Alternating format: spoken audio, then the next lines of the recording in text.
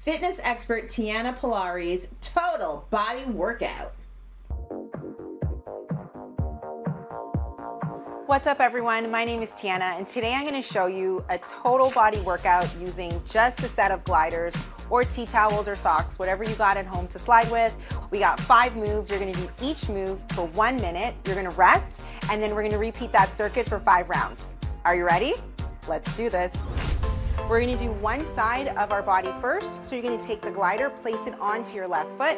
You're gonna step out with that left foot as you come into a nice deep squat and come back up to stand. Make sure when you are stepping out, you're driving that knee out. With that same leg, now we're gonna go into a lunge. Make sure you're bending those knees 90-90.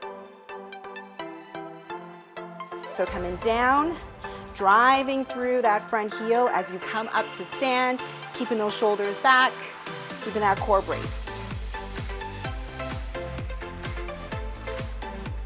For the mountain climbers, place both feet on the gliders. Come down, starting in a plank position, shoulders, elbows, and wrists nicely stacked. Drive those knees in and slide it back nice and quick. And then you're gonna repeat that side step squat and lunge on the other leg.